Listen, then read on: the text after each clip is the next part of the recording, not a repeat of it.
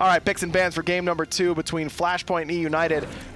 E United looked really solid in game one. I mean, Flashpoint didn't really give them a, a chance to to look bad. I mean, it was always United on the front foot, but remember, they need to take this 2-0 victory, cannot afford to stumble against Flashpoint. They definitely still want to maintain that kind of pressure that they've been uh, asserting onto Flashpoint. But if I'm Flashpoint, I, I really just want to see them play a little bit safer. They were kind of reckless for the first 10 minutes of that game, and I, I think that Flashpoint could give this a, a fair run for their money against E United if they don't try and make, for instance, those kind of Gold Fury calls or lazy backing in the mid lane. I don't disagree with you. I mean, Flashpoint is a team with potential. They didn't really show it in game one, but I think that whenever they're locked in, they ha they have a chance to take a game off just about anyone in North America.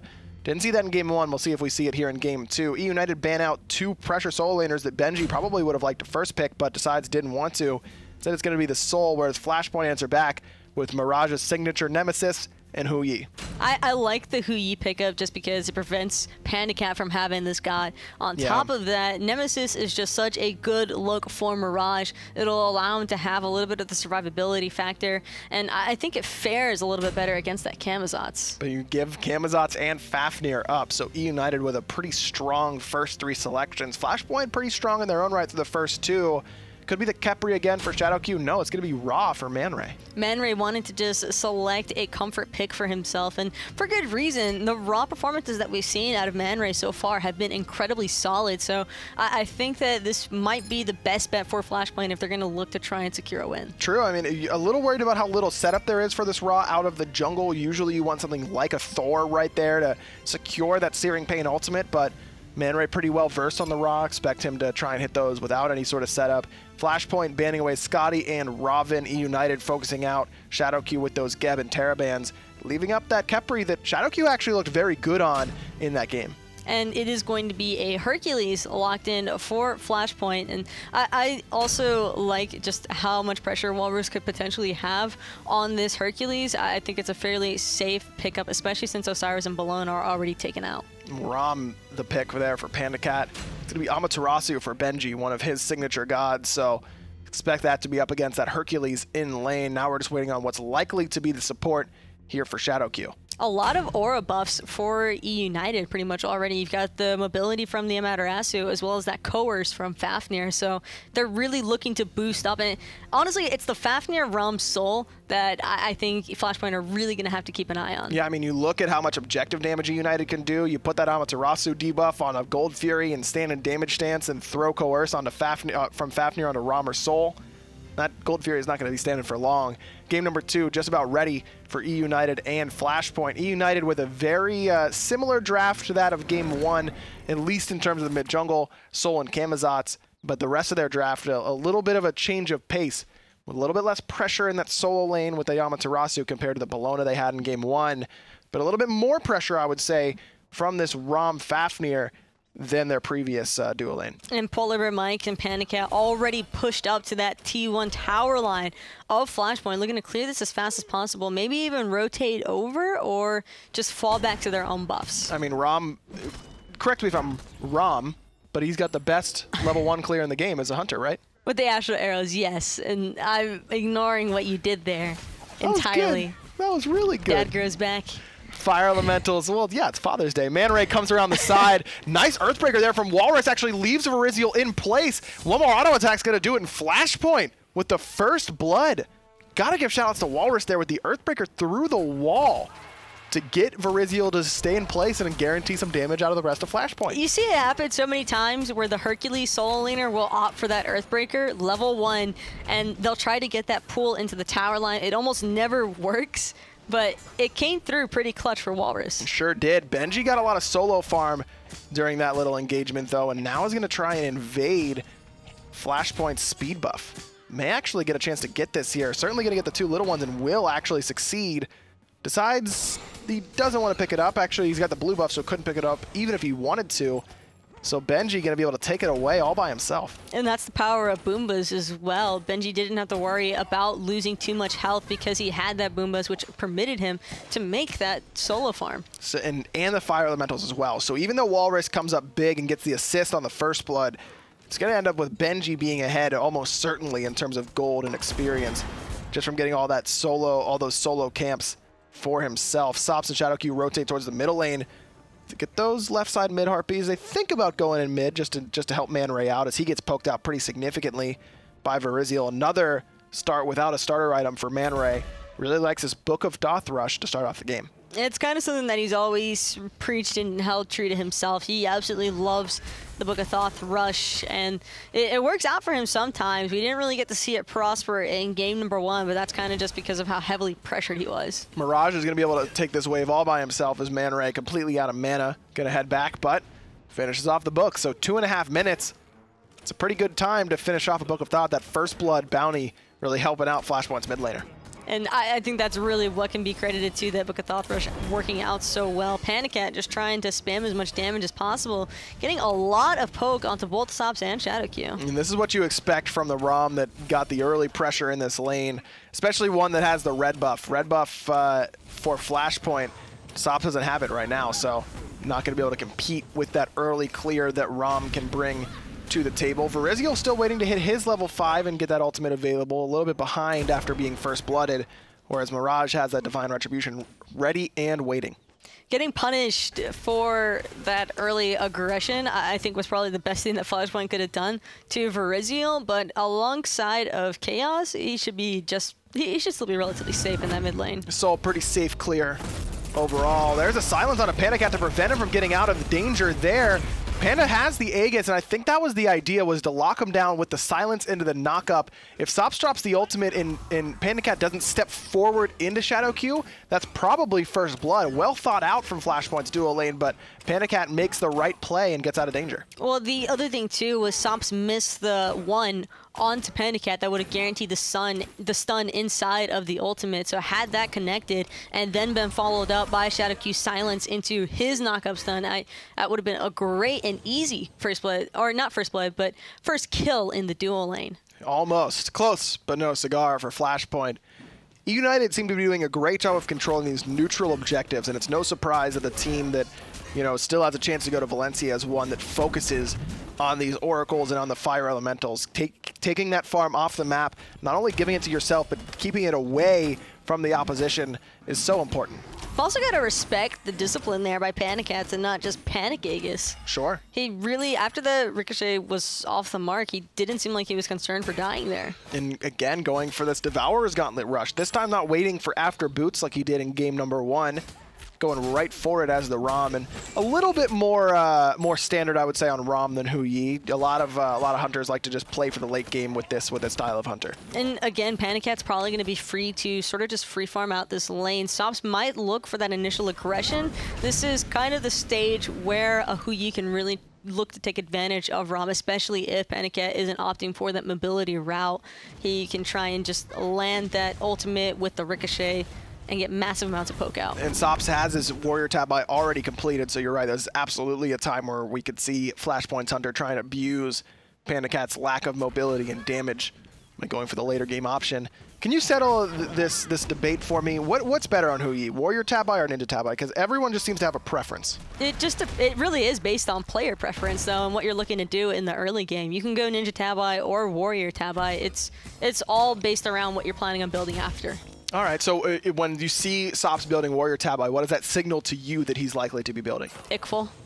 Okay, going for that attack would, speed second. He he should be looking for the Ichaival if he's opting for the Warrior Tabi first. Fair enough. Now he's waiting alongside Shadow Q, trying to get a run back on that last kill potential that didn't go Flashpoint's way, but Panic had a little wiser to that strategy and backs up, especially since he's all alone.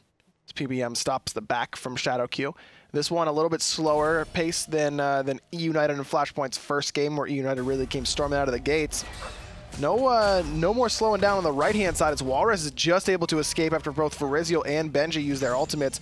Mirage answered back with one of his own, but neither team falls. This, uh, this healing from Flashpoint is going to have to be answered by something from E United. And there it is. Sops looking for that Ricochet ultimate combination. He's got the in-hands, though, which are also pretty strong. He can keep catching him, and that's exactly what he's going to do, forcing out the roll. Ooh, Oof. that Ricochet was close. I don't know if it would have been enough, but... It wouldn't have killed him. It would have been, been flashy. Nice, yeah, it would have looked good. And that's really what matters. I mean, you got to make some plays for the Giphy Cat every once in a while. Remember when Giphy Cat was a thing? Now it's just clips. I'm, I'm glad that clips are a thing, though. Makes it so much easier. That's true.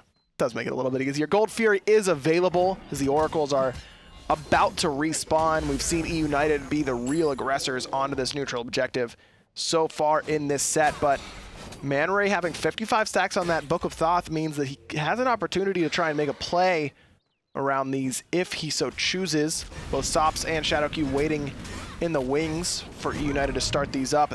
There's a Searing Pain. It comes out and means that those Oracles are split. So Man Ray trades his ultimate to guarantee that E United doesn't get that vision. And that's worth it. I mean, Ra Ultimate has such a low cooldown. You might as well use it in those kind of circumstances just so you don't have to worry about the Oracle vision being in favor of E United. Especially if Man Ray's backing right now, meaning that, you know, that's going to be uh, that 45 seconds that's remaining on that ultimate cooldown. Probably not going to be used in that time and going to be heading back to base anyways. They're not even worried about the mana consumption for that ultimate. I agree with you. I think that's the wise decision from Flashpoint's new mid laner. This game seems to be much more uh, Flashpoint seem to be much more locked in than they were in game one, right from the outset. A lot more controlled as far as their gameplay is concerned. And I, I think that that's really just what they need to do. They can't permit a team like United to take control and choose the pacing of the game. They need to establish it themselves. They've got a pretty good late game this time around as well. I mean, the, the Nemesis, of course, excellent in the later stages, but Hou Yi as well. Hercules becoming that raid boss. Barizio going to get knocked up and control a little bit. Mirage with some decent damage onto United's jungler.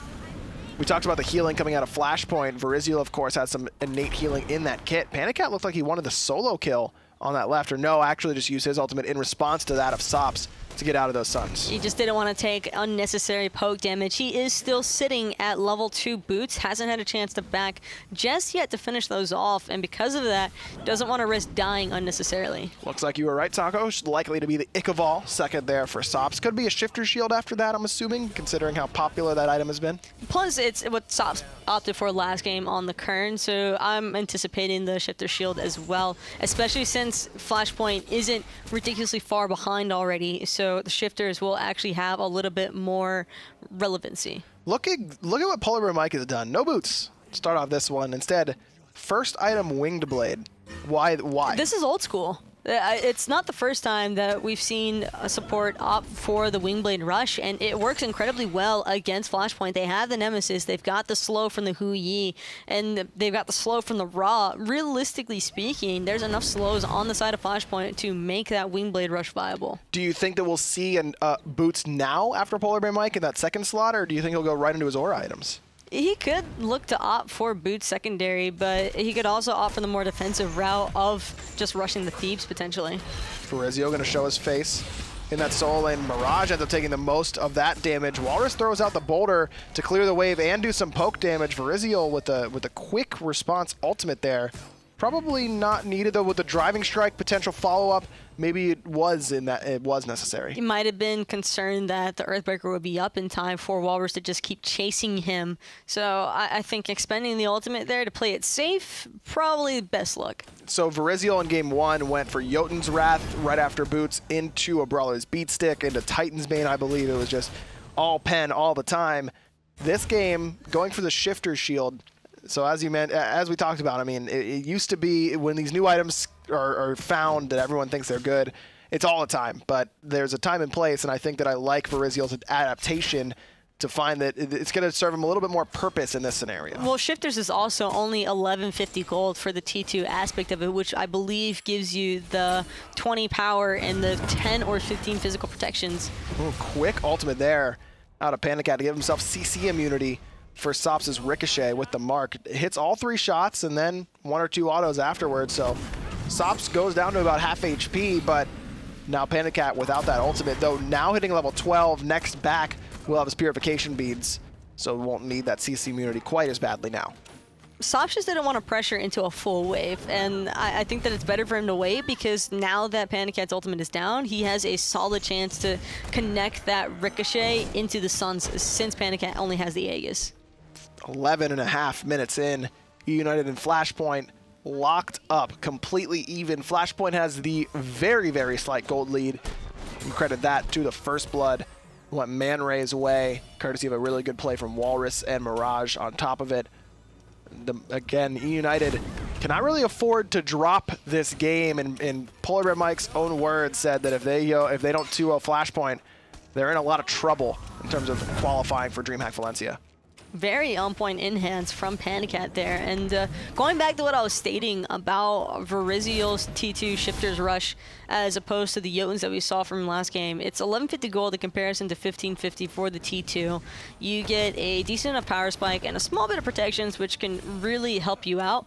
And it's really just, he didn't have the same lead. Sops getting boxed down once more by PandaCat. Varizial thinking about going for this dive, but doesn't have a second relic. Oh, he wants it. No shifters, but here he goes. Around the backside. Sops drops the ultimate, but immediately gets hit by those Vampiric Bats. Has the Aegis, so PandaCat's got to wait it out, but he finds it anyways. He United on the board, courtesy of PandaCat's accuracy with the snipes. And now this is in rough for Flashpoint. They're going to have to try and defend this grouping from E United after losing their tower already. 4v3. PandaCat already very low, forced into the Aegis. Good ultimate out of Khaos, interrupts that silence coming from Shadowq while Varizial handled Man Ray on the back. Shadowq the focus now. He's likely to fall. Bracer of Undoing buys him a moment, but not enough. Varizial puts number two on the board for United. Not only did Khaos stop that silence from Shadowq, but dropping the ultimate on top of PandaCat deters the rest of Flashpoint from trying to chase down him. Whalrus stunned, CC chained by Polar Bear Mike. Benji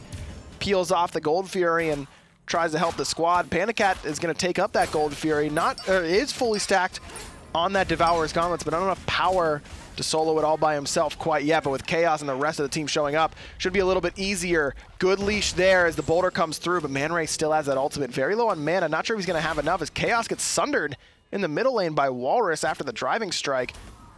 Gold Fury still pulled here by United, and it is going to go down in favor of the blue side. E United get two kills and the Gold Fury and get get that gold lead in their favor now, up about 2,500.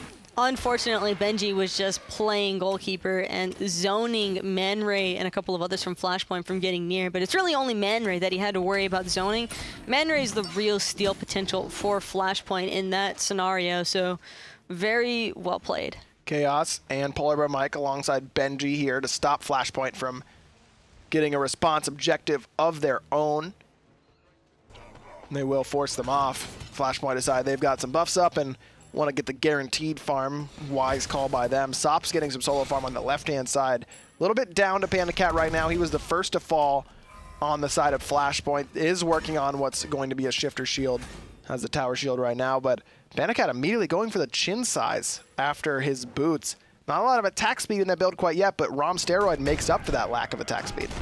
And again, that's really all that you need is the ROM steroid alongside of the Qin's to really make it worthwhile. And considering that he's fighting into the Ganesh, the Nemesis, and the Hercules, a chins rush as opposed to an executioner could very well favor him. So whenever one hunter has Ichaival and the other doesn't, usually it's just as simple as, oh, the hunter who has Ichaival wins all trades.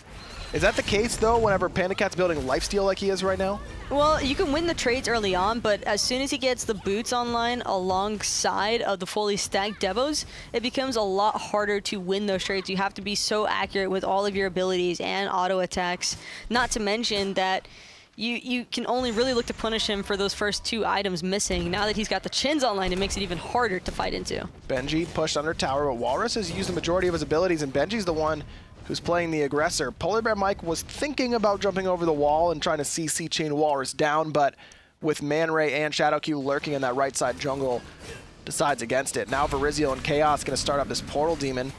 Coerce buff making that Camazotz swing pretty quickly. PandaCat even shows up himself, and it's going to go down, but oh. it's in oh! favor of Flashpoint. Well-timed snipe coming out of Man Ray. Steals away the objective. Now it's going to be a teleport in from Whalrus, though he could just take the portal. Mirage is in trouble as he's forced to dash away.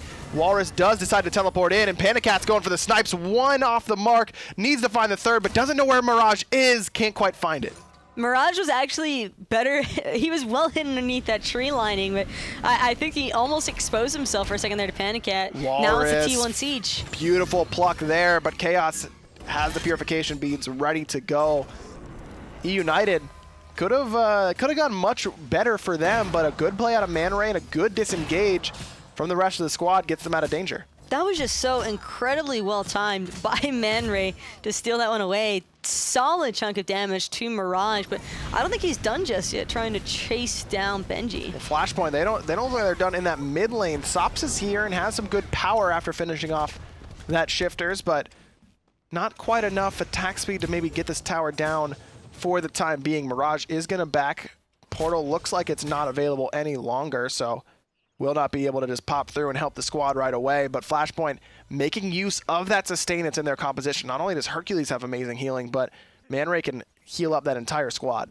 And they're still holding on to keeping the lead relatively close. Whalrus, first one in, going to tank up that tower a little bit, mitigate wounds, returns the chunk of damage that he received, but Flashpoint again. Decide they're done there and going to head back and farm up their buffs. They've got quite a few respawning. Should be all four, fairly certain.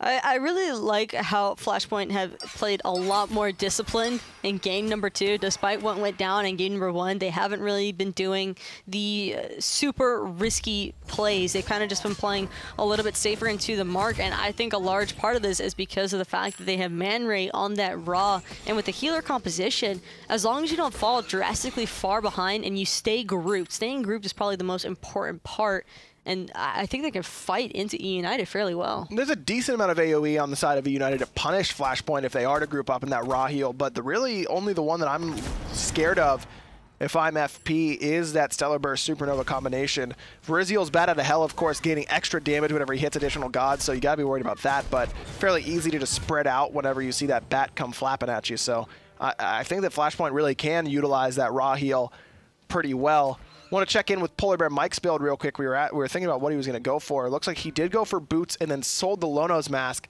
to get that Gauntlet of Thebes. So plenty of movement speed now and has that aura item completed. But Shadow Q has a sovereignty, so Flashpoint's team going to be a little bit tankier to the damage of the solo jungle and hunter than that of United. Plus, Q also has the Dharmic Pillars, which is a, a great AoE ultimate if, it, if the positioning on it is right. PBM in that front side. Doesn't get to throw the hammer because of the silence from Shadow Q. Gold Fury has respawn. United got the first one. Benji, level 18 already, dashes in, trying to find it. There goes the snipes from PandaCat, trying to finish off Man Ray, but instead his attention to Sops. Varizial gonna find big damage with that bat out of hell, and Benji's gonna fall, or excuse me, make Sops fall. Polar Bear Mike gets underneath that tier 2 tower as PandaCat cleans up ShadowQ in that jungle. A quick two kills for E United. They've got an opportunity here, Taco. Do they go for the Gold Fury? They go for the tier 2 tower and left. Looks like the 1500 gold they can get is going to be the call. They can honestly get both because of how quickly Sol and Ram are able to shred these objectives. I mean, that T2 tower just disappeared. Almost doubling the damage that Flashpoint put out in that last team fight if you take a look at the team fight recap. Gold Fury is the call now. Whalrus has the baseball ready to go and probably going to throw it to try and steal it, but a perfectly timed reset. Stun wasn't quite there to stop Whalrus's dash from getting out of the danger, but this Gold Fury likely to go down. The Earthbreaker's there, and another reset is instead United look to chase down Whalrus. Khaos says, I'll take care of him. PandaCat, you can get the Gold Fury. Good snipe from Man Ray, almost finishes off Ariziel. He's going to be able to escape with just one HP. Mirage trying to do the same from Benji. Actually turns it around with that ultimate. Good Dharmic Pillars as well. Benji completely body blocked in there, and Man Ray is going to be able to find it. Number two for him, and number two in total for Flashpoint. Just completely locked down on that backside. A little bit greedy chasing after Mirage so deep, but the zone was efficient, and it is United who were able to secure that Gold Fury. Combine that with the gold they just received from the T2 tower. That is a large burst of gold to receive all at once. 5K in total now in the lead for United. A little bit less than 4,000 experience, though. Flashpoint has done a pretty good job of keeping this game close for the time being. And again, as we mentioned, this late game composition for Flashpoint is pretty strong, though. E United's is probably stronger. Camazot's the only one who's going to fall off towards the hyper late game, but even then, it's not a, it's not you know the, the Thanatos of old. Varizial has to use his ultimate as CC immunity to get away from Whalrus, but Whalrus may have been the sacrificial lamb here. No, the bait is good. Flashpoint got the Portal Demon while Whalrus was handling three on the bottom right-hand side and doesn't even get punished for it. Good objective play there. out of Flashpoint. I'm kind of surprised that E United didn't look to play that a little bit more aggressively. I would have anticipated them trying to steal away that Portal Demon. I think that they have a strong enough team fight. They just demonstrated how strong their team fight is by gas pedaling down Flashpoint on their side of the map. Either way, United let it go. And now they, uh, they're deciding to play it a little passive right now. United's siege potential is phenomenal, though, Taco. I mean, not only the coerce and the, and the objective shred, from Rom and Sol, but think about Benji being in that damage stance, providing extra damage to those two characters. Doesn't even have to be too far away from them to do it. And then you, uh, all of a sudden, your towers probably won't last very long. No, and I think that's kind of just the mindset for United here is just shred everything on the map, never really giving Flashpoint an opportunity to catch up, but Flashpoint are doing a, fairly solid job still with keeping up, all things considered. Blink forward by Verizio, looking for the damage on his stops, but he's going to be able to dive bomb away, at least for the moment. Verizio not giving up this chase, though, trying to chase him down. Aegis is good, four stops to get him out of that danger. Khaos drops the ultimate right on top of Shadow Q, and a beautiful Supernova erases the support for Flashpoint. PandaCat going to finish off Mirage, is looking to do the same to Sops, can't quite find the last shot but it's two quick kills for E United. Khaos gets picked up and bouldered by Whalrus, but not enough to find the kill. Can't say the same about Benji on the Sops. That's three in total in this one for E United. Seven on the game. Whalrus trying to get away from the pressure from Polar Bear Mike. Man Ray can only throw out the beam to help him as the tier two tower just melts to the damage from Khaos and Panda Cat. Three kills, two towers, E United's way. E United are just completely deconstructing Flashpoint in these team fights. They are splitting them up so drastically that they never really get a chance for this Ra sustain to even happen. And the burst damage that they have is so strong that, again, that little bit of a heal that you would normally be able to acquire from a Ra and just re-engage with after you sustain some is unable to happen. In the last game, there was a lot of poke coming out of E United where they'd throw a couple Camazotz abilities, they'd throw some Sol Stellar bursts, and then they would initiate. This time, respecting that Ra sustain, when they go, they go. It's been every single time. Saw this kind of play from Flashpoint in game one. It was around the Gold Fury. This one makes a lot more sense to me, Taco. Trying to pull this Fire Giant right after all of United had based, but they couldn't get it done in time. And now, United saying, thanks for the startup, friends. We might just take this for ourselves. Whalrus trying to bait them into the chase, and it will get United off that objective. But if Whalrus can get out, that's a good look for the Flashpoint solo laner. Boulder comes down, but Benji going to stun out Man Ray.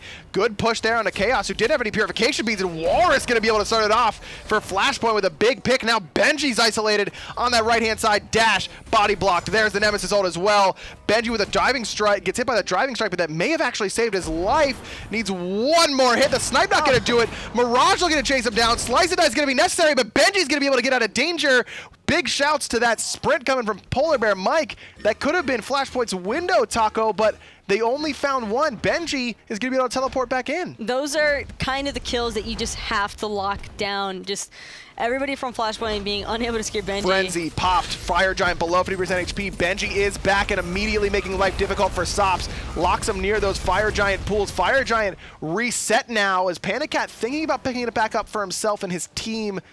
Decides he's going to back a little bit too low. Benji continues the chase onto Sops. Reflective Mirror is going to miss.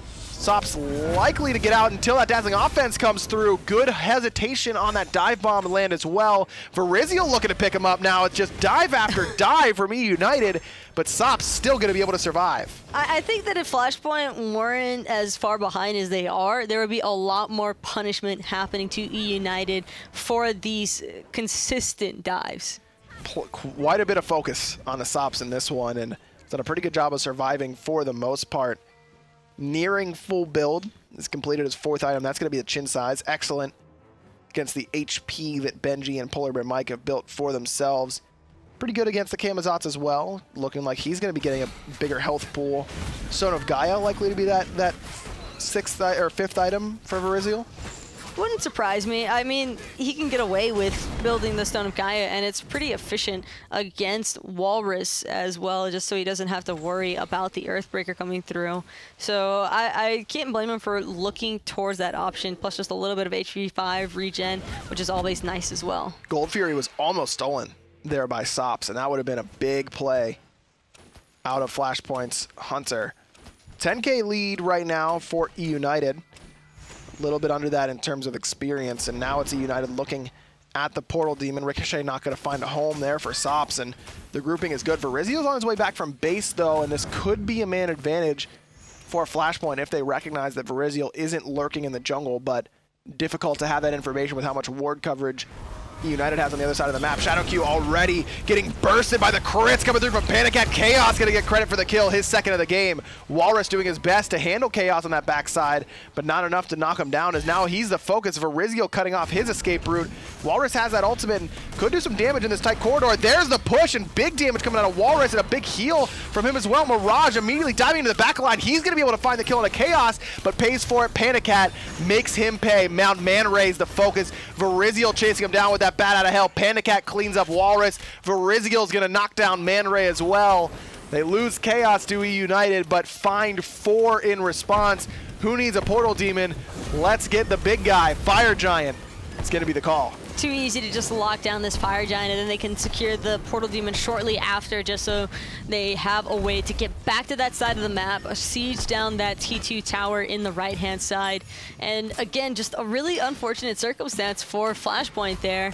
I, I think that Whalrus did an excellent job buying as much time as possible, but the burst heal that just came through all at once for three members shortly after dropping his boulder was just a little bit too much for Flashpoint to handle. I agree with you what you said earlier though, Taco, and that's that if Flashpoint just wasn't quite this far behind, they probably would have taken the last few engagements. United's engagements have not been particularly clean, and if you're a United fan or something like that, you could probably just say, yeah, well, if we were, if they weren't so far ahead, then they wouldn't be playing so sloppy. And sure, but I, I think that E United has not looked as clean in Game Two as they did in Game One. Flashpoint certainly showing a little bit more uh, resolve and grit in this one and they've they've gotten United into some tough spots, but just haven't been able to punish them for it. Well, that's the thing, though, is that is this gameplay still strong enough for you to find into a victory and boost your point set for Valencia? Yes, but is it good enough against EU? Probably not. Well, a W is a W, and that's all United is looking for right now. PolarBearMike gets poked out pretty consistently there,